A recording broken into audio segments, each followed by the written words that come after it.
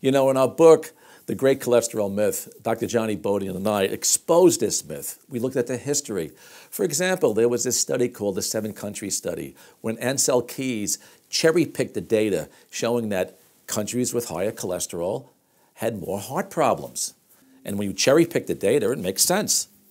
But look, let me give you an example. He left the island of Crete out in the Mediterranean. Now, the average cholesterol for an inhabitant of Crete was over 200, but they didn't have any heart problems there for even a decade. Now, think about that. Over 100, no heart problems. Something doesn't make sense. And there were other countries as well. It just didn't fit. What I want to talk about today is don't fear cholesterol number, folks.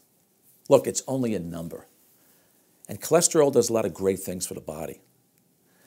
And I also want to reassure you that what you put in your mouth, saturated fats, monounsaturated fats, you know, healthy fats, omega-3 fats, they're not to be vilified. They're good for you.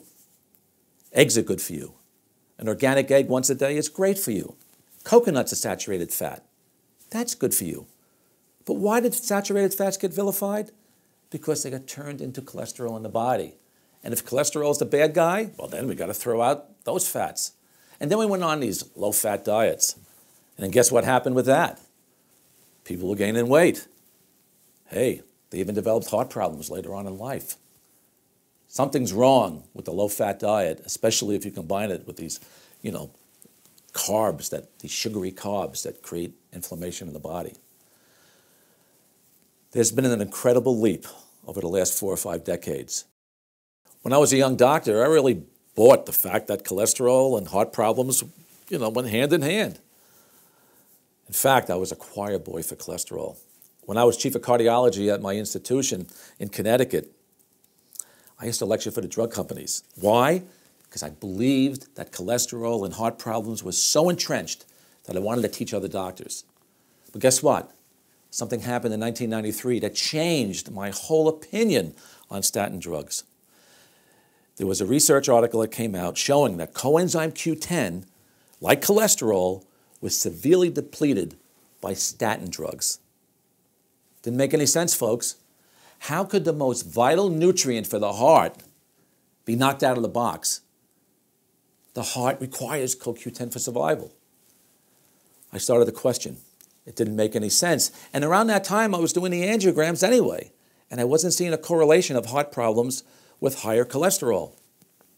Something had to give. I started reading more and more. And studies came out. They were showing positive impacts of statin drugs on heart health. But a lot of it was sort of statistical gymnastics. They were talking about relative risk and absolute risk. It was hodgepodge. And when Dr. Jonny Bowden and I wrote the book, The Great Cholesterol Myth, dozens of doctors were on our side. They saw the light too.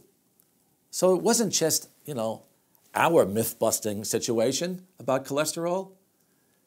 Now it's becoming more and more mainstream. So cholesterol is not the villain of heart health. Cholesterol does a lot of great things in the body.